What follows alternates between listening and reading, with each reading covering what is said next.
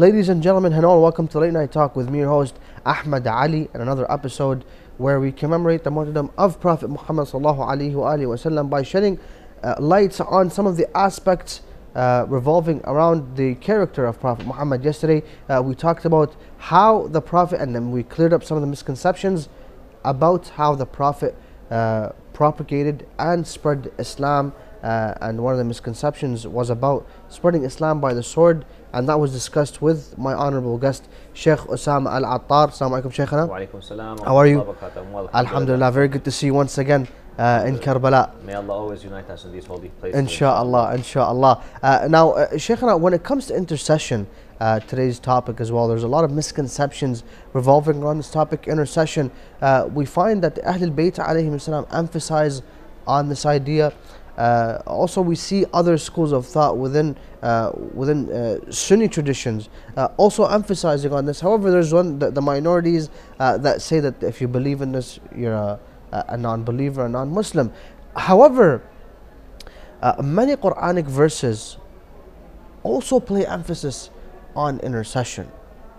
To begin it off, what is intercession, and why is it important? بسم الله الرحمن الرحيم والحمد لله رب العالمين وصلى الله على محمد وآله الطاهرين. The word shafa'a, shafa'a, comes from the root word shafa'a. Shafa'a means to add something to another. To add, Add. That's why, for example, there is a salat in the middle of the night, part of Salatul Layl, the night prayer, the midnight prayer, and it is called Salatul Shafa'a. It's a two rak'ah salat. shaf, yes. And then there's Salatul Watr. Watr, yeah. means one. Shaf means two. You've added one rak'ah to another rak'ah, and hence Salatul Shafa. So shaf, shafa'a literally means adding something to something else. Mm. So why It not call Salat Subuh? Sorry, why not call Salat Subuh shaf as well? As-Salatul Subuh, it was given Salatul Fajr because it's ah, a specific Fajr, time Fajr. of Fajr. Okay. Therefore, it's not to confuse it with other Salat. It was given. However, it is also two rak'at. Rak'atun tashfa'u. Uh, rak'atun ukhra. You know, one, uh, one rak'ah with another rak'ah. So, and then it was also used to add something weaker to something stronger. For example, mm -hmm. if a person wants heat, and he's cold, he ignites fire. As النار تشفع بالحرارة للإنسان. The fire provides, adds the human being heat with heat because the human being has the weakness of need of heat. He cannot provide internal heat. He needs to get that heat externally. What provides him with heat in this case? It's Fire. the fire. So the fire does shafa'a, tashfa, for heat. Okay, so that's the literal meaning of the word. Literally, it's adding something to something else, also used as adding something weaker to something stronger. So that, uh, or something stronger, Stronger to something, something weaker, weaker, I yeah. apologize. So that it provides it with some of this strength. Yeah. Whether it is, for example, the strength could be physical strength, could be heat, etc., etc. Mm-hmm. So that's the literal uh, meaning of the word. Yes. Now, we then look at it from the Quranic perspective, and that is providing the help of Rasulullah sallallahu alaihi wa alih and his divine family, the Imams alayhi salam, providing help and assistance to the rest of the creation on the day of judgment.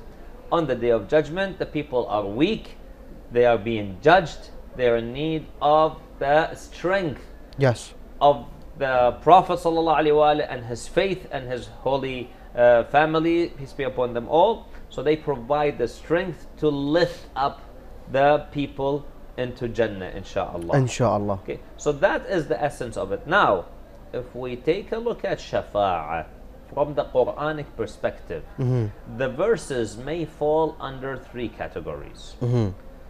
One category suggests there is no shafa'a. Yes. Second category suggests that there is shafa'a, but only Allah subhanahu wa ta'ala. Okay.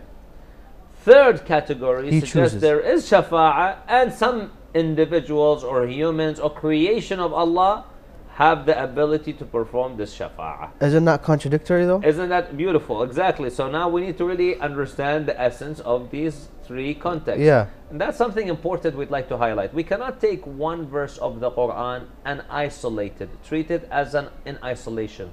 Quran is to be taken as a whole. Yes. So we take one verse, we have to look at another verse and another verse and combine it all together to come up with a conclusion. Yes.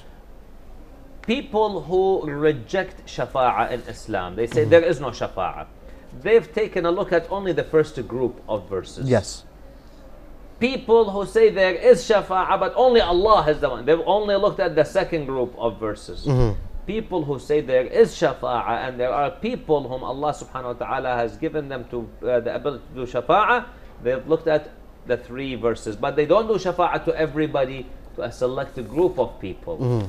Now, let's take a look at these three ca- uh, categories of verses very briefly, very Yes. quickly.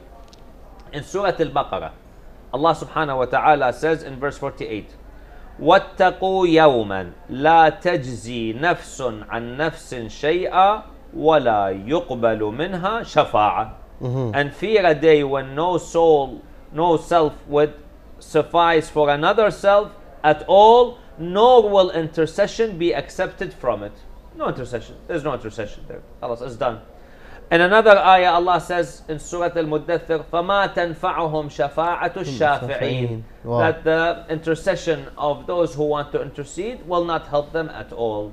You know, so there is a group of people whom the shafa'a will not help. However, those people who do not have a group of you know shafa'a interceding help them. Let's take a look who they are. Yeah. Allah subhanahu wa ta'ala says in Surah Al-Muddathir, a group of people who will be in paradise will be asking a group of people who are being punished in the hellfire. And ask them what ended you up in the hellfire? Why did you guys end up in the hellfire? So there's a communication apparently among the people of jannah and the people of jahannam. Yeah. but it's a one-way communication. It can be established by the people of jannah Yeah. not the people of jahannam. They cannot communicate or start the communication with the people of jannah.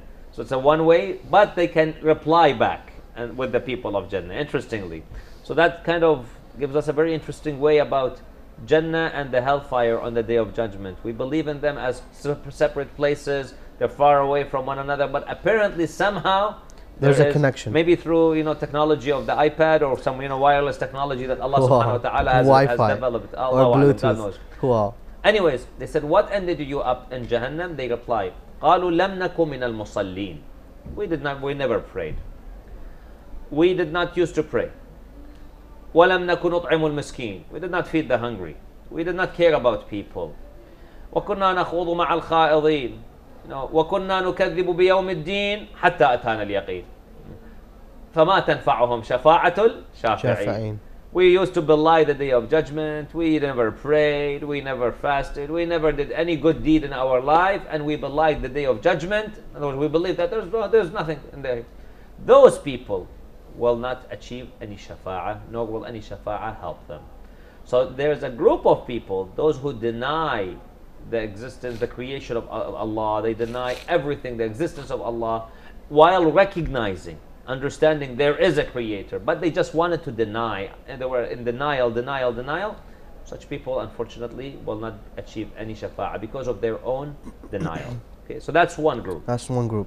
The The second. second group of ayat, Allah subhanahu wa ta'ala says to the to the believers that Allah subhanahu wa ta'ala has all the shafa'ah. قُل لِلَّهِ الشَّفَاعَةُ جَمِيعًا That Okay. in Surah Al-Zumar, Allah has all the shafa'ah. Okay. Now, some people say, see, no one else does shafa'ah. Only Allah. Except for Allah, okay? We say, okay, absolutely. Allah subhanahu wa ta'ala has the ultimate shafa'ah, the whole power of shafa'ah. But Allah subhanahu wa ta'ala can delegate that power to certain individuals of His creation. Yes. This is not shirk association because we say Allah delegates, Allah provides the ability to do shafa'ah. People of His creation do not intrinsically have that ability. Allah instills it, Allah puts it. يعني يفيض بها Allah. Allah gives it to them. That's a difference. When you say someone independently of Allah, wal billah, God forbid, has the power of shafa'ah, that is shirk. Mm-hmm. When you say someone has been given the power of shafa'ah by Allah, That's different. that's not that's not shirk. Yeah. Allah gives rizq, Allah gives whatever, so Yeah. there's no shirk here. Mm-hmm. So this is the big difference between the two uh, things. And that's why Allah subhanahu wa ta'ala says, for example, in Ayat al-Kursi, many people have it memorized. Yes. من ذا الذي الذي يش- يشفع عنده عنده إلا من بإذنه Who will do the shafa'ah but with the permission of, Of Allah. Allah. So there are people. And then, Al- and then interestingly, Allah says in the ayah of Surah Mudathir, فَمَا تَنْفَعُهُم شَفَاعَةٌ Shafi'in. so there are Shafi'i. There are There are Shafi'i. people who, who do intercession, but Okay. those people will not benefit from their intercession. And Allah says subhanahu wa ta'ala also, uh, وَلَا يَشْفَعُونَ إِلَّا لِمَنِ ارْتَضَى That they will not do shafa'ah except with whom Allah is pleased or accepts the shafa'ah to be performed for them. Yes. So basically, if we put all these verses together, we say Allah subhanahu wa ta'ala has the ultimate power of shafa'ah. Absolutely. He's got the ultimate supreme power, independent power of shafa'ah. On the day of judgment, Allah subhanahu wa ta'ala gives that power. In fact, not only in the day, even in, the, in dunya, but we'll come to that later. Yeah. Allah gives that ability out of His mercy, out of His power, to a certain selected group of His creation. Yes. This group, by the will of Allah subhanahu wa ta'ala, by the permission of Allah subhanahu wa ta'ala, they have the ability to perform shafa'ah, intercede Yes. on some people's behalf. Yes. These group of people, they will intercede on the behalf of those who believe in Allah but have committed some sins, mm. have committed some crimes. Yeah. Those, however, who never believed in Allah subhanahu wa ta'ala, they chose to reject the message of Allah willingly, knowingly, deliberately. Such people will not achieve or deserve the shafa'ah of the Prophet and his family. So that's what we find in these verses. Perfect. Now, who are those who Allah subhanahu wa ta'ala grants them the ability of intercession? Uh, because uh, we find in narrations that Allah subhanahu wa ta'ala gave the prophets and gave the imams only uh, the ability of intercession. Yet we find other narrations of Imam al-Baqir and Imam al-Sadiq saying that the ones who visit Karbala, they also get the ability uh, of intercession. Uh, now, is that given by Allah to those people? Or is uh, are, are these narrations contradicting the, the, the actual ayahs? Because someone who has the ability of intercession has to be sinless, has to know what that person is actually going through. Yes. Uh, and inshallah, we'll get to touch upon uh, also knowing and the knowledge of the unseen, but that's probably later on in the episode. But h- how is this possible? Allah has full uh, ability of intercession, He gives it to certain individuals. Now, those individuals give it to other individuals. Do they have that ability? They have that ability, yes, absolutely, with the permission of Allah subhanahu wa ta'ala. With the permission. Just But how would a, a, s- a sinful person have the ability of, of intercession? Well, at the time when they start performing the shafa'ah, they would not be sinful anymore. They would have had their shafa'ah by Rasulullah sallallahu alaihi wasallam to purify them, to cleanse themselves, and now that they've achieved the state where they've been cleansed of all their sins, and now they're ready to go to Jannah, some of those individuals will then ask Rasulullah sallallahu alaihi wasallam, ask Allah subhanahu wa ta'ala to give them the permission to intercede on behalf of, let's say, a sibling, uh, a, a parent, A spouse. a child, a spouse, etc., or a, a friend. Yeah. So they will choose some people whom they will try to select. And because they've now been purified, now they're all sinless, they're pure, they're ready to go to Jannah, Allah subhanahu wa ta'ala uh, will give them the, the ability to do such intercession. Mhm. Now, a lot of misconceptions are revolving around this uh, because many have the claim uh, that if God gives the Prophet the ability of intercession, and then they- have narration saying that whoever is in love with Ahlul Bayt and follows Ahlul Bayt, uh, automatically he'll be uh, will reach him. Uh, then what's the problem, you know, with having a couple of sins in this world? Because we know that the Prophet is going to do shafa'ah for us. but we'll get to answer that but after the short break if you want, inshallah, uh, Inshallah. Shaykhana. So, respective viewers, do stay tuned for we'll be back very shortly and we'll continue the topic about the misconceptions revolving around shafa'a. That's after the break, so do stay tuned. Respective viewers, welcome back. Hope inshallah enjoyed uh, that short report. But before the break, uh, we were having a discussion with our very special guest, Sheikh Usama Al-Atar, and we have been discussing uh, and clearing up some of the misconceptions revolving around intercession shafa'a. Welcome back, Habib Shaykhana. Thank you very Allah much. Now, before the break, we asked a question, uh, and this is, is going around the world. Uh, this idea uh, that someone is loving Ahlul Bayt, you know, he, he does all the rituals, he does everything. Uh, sometimes misses some stuff, but a lot of people say that you don't need to pray, you don't need to do anything because if you love Ali Talib, if you love the Ahlul Bayt, you're going to go straight into Jannah. The intercession will reach them. Ultimately, you know, it's no Shia can go to hell. All of them have to go to heaven. Now, is that true? Or You know, we read the ayah of the Quran clearly, just as I mentioned before the break. Mhm. I said, قالوا لم نكن من المصلين ولم نكن نطعم المسكين. You know, those who ended up in the hellfire, والعياذ بالله, they said, we did not pray, we did not feed the hungry, we used to kind of engage in vain talk, uh, we used to deny the day of judgment, and hence they end up in Jahannam.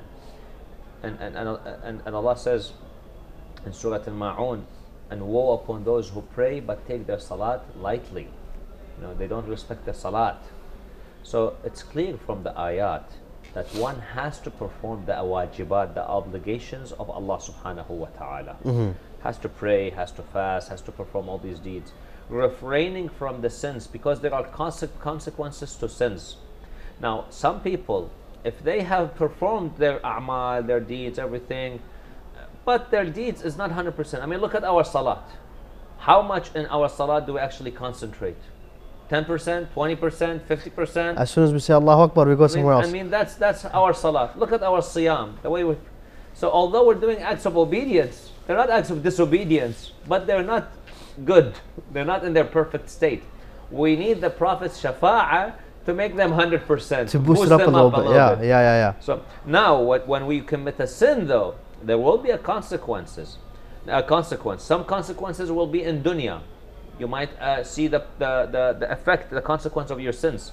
اللهم اغفر لي الذنوب التي تنزل البلاء ذنوب تغير النعم ذنوب تت- uh, تنزل النقم and so on as we read in Dua Kumail oh Allah forgive these sins that might send calamities upon me uh, that would prevent my dua from being accepted etc so there are some consequences here in dunya there's some consequences in the qabr where Allah subhanahu wa ta'ala might make a person endure some punishment in the grave Yeah. Okay, and if a person then gets purified in the grave as a consequence of his of his of his uh, sins, then on the day of judgment he'll be pure, and Allah will grant him the shafa'ah of the Prophet sallallahu alaihi wasallam, and he can go to Jannah.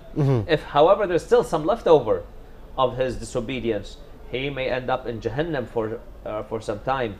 Now he might stay there forever, or Yeah. by the permission of Allah, stay there temporarily and then be transferred over to Jannah after Allah's forgiveness uh, bestows upon him. Mm-hmm. So there is that con- that concept where you can do whatever you want, and then Allah will forgive us, or the Prophet will just have uh, intercession for us, is a fallacy that some people try to propagate and promote, just so that they can justify some of their the, uh, the ways of life. Yes. Now, uh, a a very brief answer so I can get to the second question.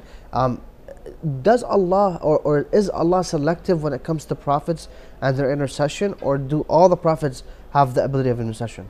Imam al-Sadiq salam says the Prophet, our Prophet, there is no one, according to the hadith, ma min ahadin, no one on the day of judgment, but will be in need of the shafa'ah of Muhammad sallallahu alayhi wa alihi wa sallam. Everyone on the day of judgment will be in need of the intercession of Rasulullah sallallahu Perfect. Everyone. Everyone, It means who? even the prophets. Even the prophets will need that. How about the imams? The, no, the Imam Muhammad wa Ali Muhammad. Okay, wa Ali they're the same because they're nurun wahid. Okay, one nur. beautiful. Now the prophets. The thing is, that do the prophets have the ability of intercession, or do they not? Other than Prophet Muhammad. they may have their ability to intercede on behalf of their nations, their communities, Okay. their people who, who believed in them. Perfect. Now in chapter uh, 11, verse 46, Allah subhanahu wa ta'ala, uh, when Nuh tried to intercede on behalf of his son, Allah told him, stop. He's not from your family anymore. Correct. So- But but what what was what did we say? Who are the people who don't qualify for shafa'ah? The people who didn't pray, but this is the Prophet's son. Oh, it doesn't matter. He, he, he belied the day of judgment. He belied the command of Allah. He belied his father. So even if he's your son, too bad. So, but the Prophet, qualify. the Prophet tried to intercede. In dunya, not in akhirah, but he was told in dunya that He's he not does not qualify for your intercession. Uh-huh. So let go of him. And he would never ever do that. Uh, he would never intercede for him on the day of judgment. Mhm. Now we, we see that also uh, Allah subhanahu wa ta'ala even during the battles of Prophet Muhammad uh, as soon as someone would uh, convert to Islam uh, right away his uh, even if, if it's in war and you're about to strike him and he becomes Muslim you cannot strike him anymore. He he's on the safe side now. Yes. uh, but so technically that's intercession. Uh, the, his conversion to Islam was a sort of intercession him from uh, from death if you will. That's different. No, uh, we might call it as intercession. Islam interceded for him. Mm-hmm. Yeah. However, al-Islam يجب عما قبله. Islam forgives everything beforehand. So if Mm-hmm. a person becomes a Muslim, let's say at the age of 50, for example, at the age of 50 he finds the truth and Yeah. he becomes a follower of this rel- beautiful religion. Then he says, well, for the past 50 ye- years, I've never prayed. I, I may even have drank alcohol. I may have committed some sins. we say that's fine because you were not a follower of Islam. Now that you have accepted the, and embraced the religion of Islam, all your past deeds have been forgiven. Mm-hmm. So now you need to move on forward. Perfect. Now we see Pharaoh also when, when he's about to die, he says, Now I believe in the God of Moses. Mm-hmm. So why did intercession not reach him? because it was in his when he saw death. When you see death, then too late. The time is over. So the people during the so you're telling me no one during the time of the Prophet converted out of fear? They did. They did, they did not see the death, literally the angel of death, coming to them, taking their soul away. Pharaoh saw the angel of death coming to take his soul away. At that moment, he said, I believe now. But that was the moment when he saw the angel of death. Too late now. Because now he's coming to take your soul away. At that point, it's too late. Anytime before that point, before you see the angel of death, even if it's five minutes, I'm in the war, like you know, you like you say the example. People in the battle, they see the Muslims get- getting victorious. True, but they don't still see the angel of death. So maybe to protect their lives, they said the shahada. Khalas, Islam says you cannot, you have to take it by the literal word Yeah. because you don't see what's in the heart of Yeah. the people. So you cannot make assumption. Yes. Anyone who says the shahada is a Muslim, and this is something that is agreed upon by all Muslims. Yes. And that's why it's very, very important to realize, and this is just as a side note, very important to realize that whatever those so called Muslims, in fact, these terrorist groups are doing under the name of Islam by killing Muslims, contradicts everything about religion. And therefore, these people do not even belong to the religion of Islam. Wow. Because Islam clearly states anyone who even utters La ilaha illallah Muhammadun Rasulullah sallallahu alayhi wa alih, he's a Muslim and khalas. You cannot touch him or hurt him or harass him. And what those people are doing is completely against the religion and the Sharia. Uh, now, uh, Sheikhna, what also uh, is equally important as uh, intercession, or in terms of misconceptions, if you will, um, is the aspect of uh, ilmul. We have approximately five minutes till the end of the show. I know we don't have a lot, a lot of time to talk about this, but it is, it's, also controversial as well in the terms that Allah Allah says, I am the one that has knowledge of uh, the unseen, and then He says, I choose who to give it to, and then there, no one knows the knowledge of the unseen. So it's, it's it's similar to intercession. Now, what's the issue with the knowledge of the unseen? Again, it's the same thing. It's very, it's, uh, it's very same. Allah subhanahu wa ta'ala has the knowledge of the unseen independently. Allah does not need anyone to gain the knowledge of the unseen from. He is independently, on his uh, essence, in his essence, is capable of knowing everything. However, he chooses to bestow some of this knowledge to selected group of his creation. Isa alayhi salam, according to the Quran, tells the people, I can tell you of what you keep in food in your houses, of food in your houses. I can tell you. I can tell you what will happen later on. How does he know that? Allah gave him the ability to know. He can tell people what to do and what not to do. Uh, and so on and so forth. So the Prophet ﷺ and Ahlul Bayt were given this power by Allah subhanahu wa ta'ala to know Yes. the knowledge of the unseen. Of the unseen. Now, uh, does knowledge vary of the unseen yes, it does. uh, from diff- from people from person? How? Yes. Allah subhanahu wa ta'ala gives the degrees of the knowledge of the unseen. Mm-hmm. He has the ultimate knowledge.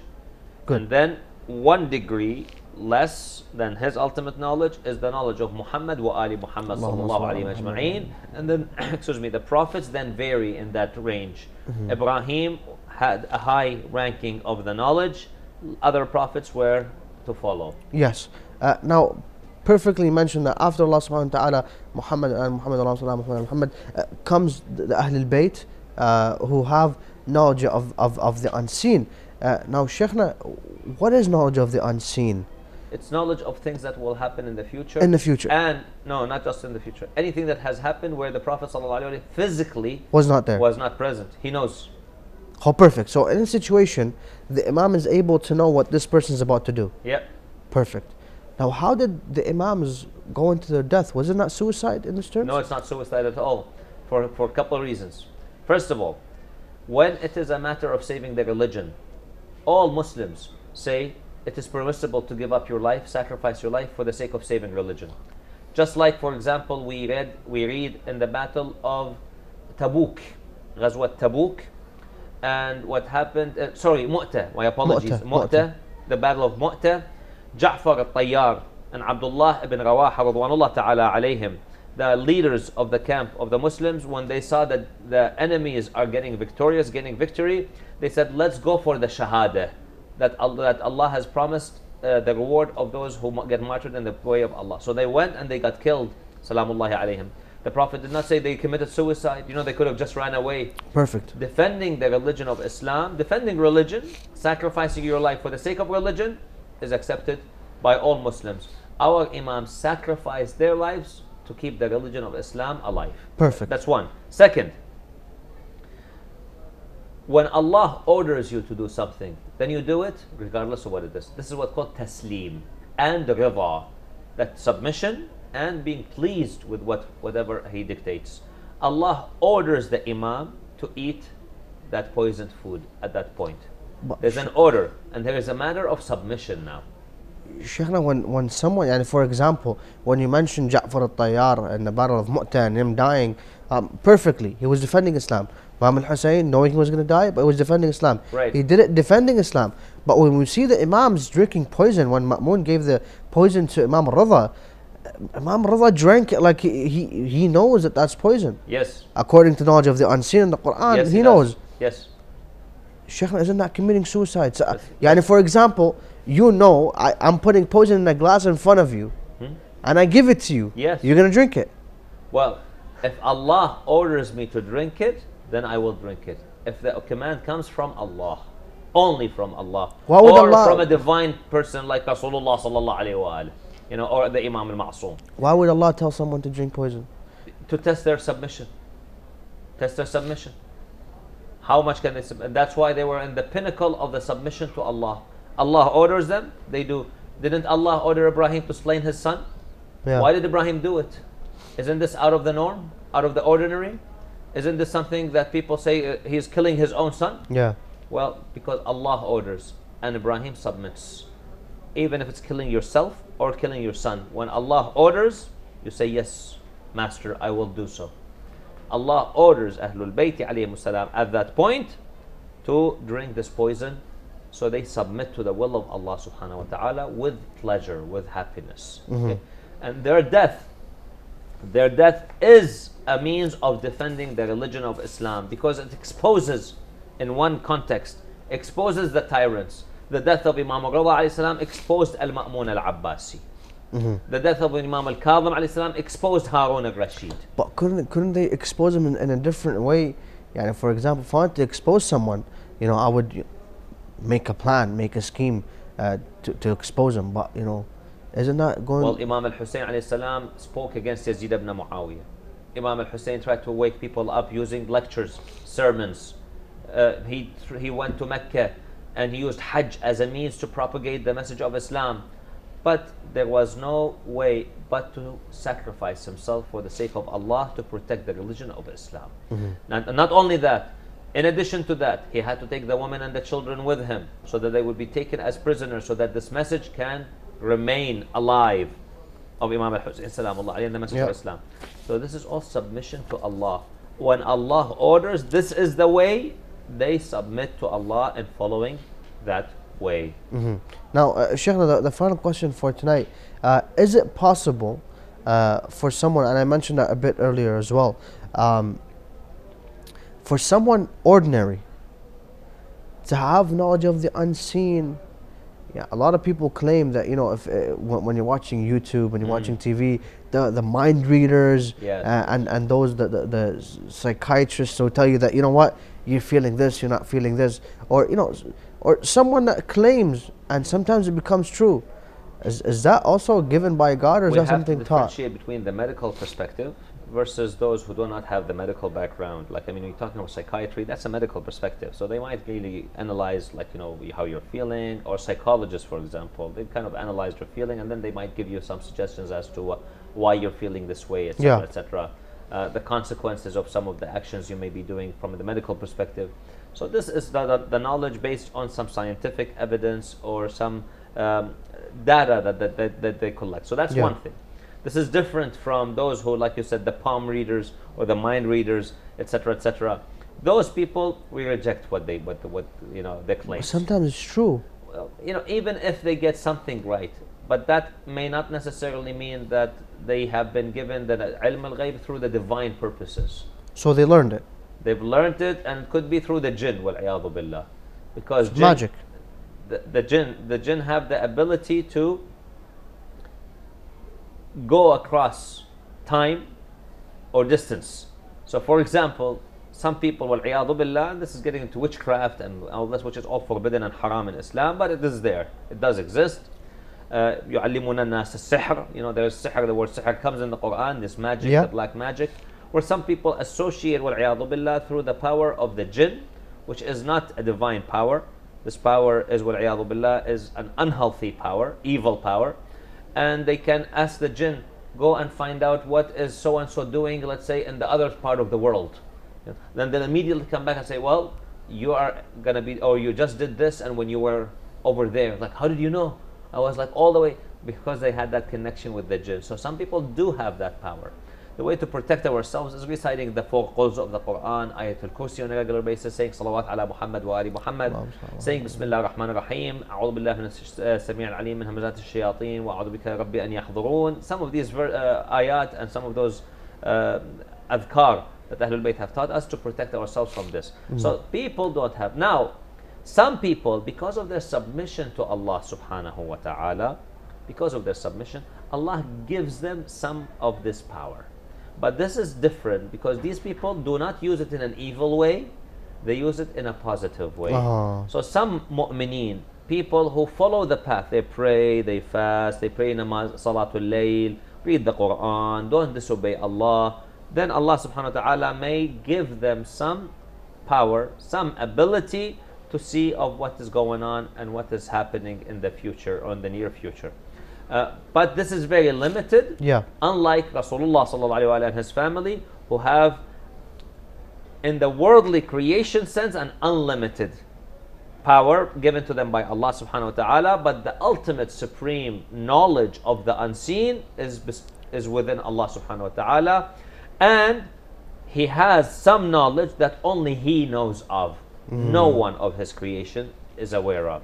So that is the ultimate knowledge of Allah. So we have these different states or ranks. Allah, the ultimate, knows everything intrinsically, Yes. independently, and then you have Him spreading this knowledge onto Ahlul Bayt. people with different degrees. Uh-huh. Ahlul Bayt have the pinnacle of that knowledge, And then- and then the people after them, it varies in their Mm-hmm. ranks. Inshallah, thank you very much for the beautiful discussion today. And uh, we beautifully cleared up uh, some of the most important and crucial misconceptions that are going around uh, the societies and the communities today. Thank you very much uh, for joining us tonight. Hopefully, we can continue uh, the discussion, but after a different time. Thank you very much once again, respected viewers. Thank you very much for tuning in tonight. Hopefully, we can uh, understand what Islam is all about and how can we clear up some of the misconceptions uh, revolving uh, around uh, topics such as this. Hopefully, you're benefited from this.